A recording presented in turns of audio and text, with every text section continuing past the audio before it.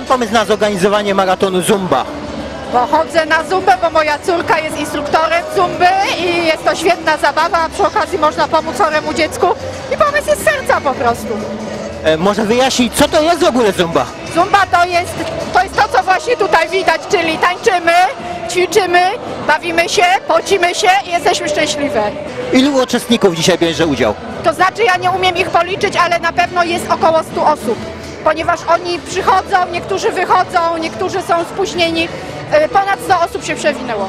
A wszystko w szczytnym celu. A wszystko w celu leczenia Anitki Sikory. Kolejna impreza zorganizowana na rzecz e, ratowania Anitki. Co już za nią, a co jeszcze przed nią? No jest to bardzo długie leczenie, już trzyletnie za Anitką. Przed nią prawdopodobnie kolejny przeszczep komórek macierzystych, no i radioterapia okolic kręgosłupa.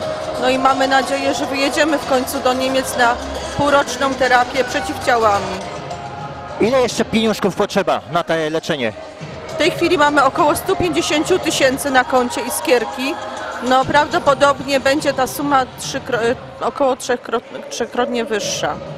Życzymy zdrowia dla Anitki.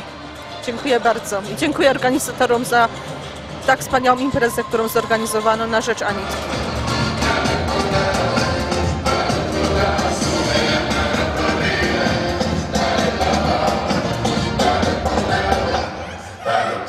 Ross.